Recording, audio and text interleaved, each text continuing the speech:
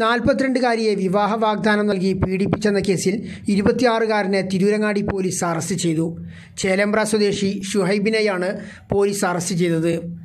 ഫറൂഖ് സ്വദേശിനിയായ നാൽപ്പത്തിരണ്ടുകാരിയെയാണ് വിവാഹ വാഗ്ദാനം നൽകി പീഡനത്തിന് ഇരയാക്കിയത്. മൂന്ന് വർഷത്തോളം ഇവരുമായി പ്രണയത്തിലായിരുന്നു യുവാവ്. നാലു മാസം മുമ്പ് മൂന്നിയൂർ പാലക്കലിലെ വാടക കെട്ടിടത്തിലെത്തിച്ച് പീഡിപ്പിക്കുകയായിരുന്നു.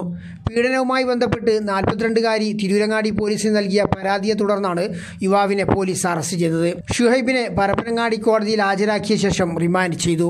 News desk news one Kerala. നിങ്ങളുടെ സന്തോഷ നിമിഷങ്ങളുടെ partner Aadhaar gold and precious Kondotty Perambra Manjeri Chemmad